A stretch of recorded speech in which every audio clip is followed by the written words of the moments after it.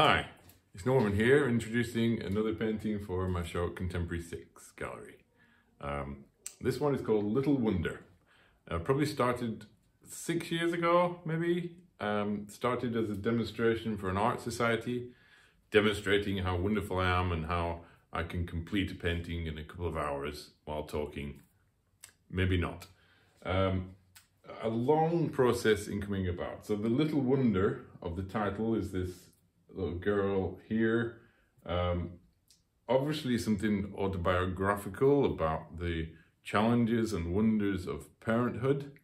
Um, I started with an initial image of these two figures and felt that it was difficult to decide who was the most important visually. When you get two things that are of equal importance visually, it's hard to know what to look at. So I ended up going through a process of try, posing myself to find a different figure, um, and I'll show you some of those images.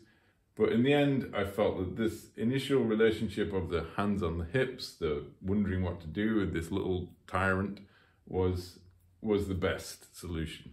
Um, and also, I'll show you how I came to the solution of the background as well in the process of many, many changes. So if you just bear with me, I'll take you to the initial photograph. Uh, a very early stage where I was changing the male figure from the original one to one of myself taken in the studio. Sort of trying to express frustration at the child this is painted into the painting. And this is me trying to figure out the black and white composition of the work uh, through turning it sideways, through introducing things on Photoshop. You can see the big diagonal idea, big dividing the square painting into diagonally into light and dark. This is going back to the original figure and applying a glaze over the lady's shirt that is then wiped off in this image introducing the nice Marks and Spencer's carrier bags.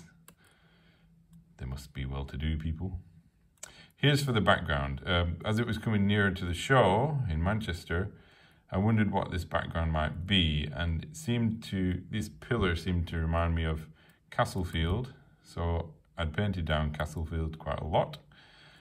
So I changed the background to red brick and made these pillars more specific. So that, that brings us to the final painting.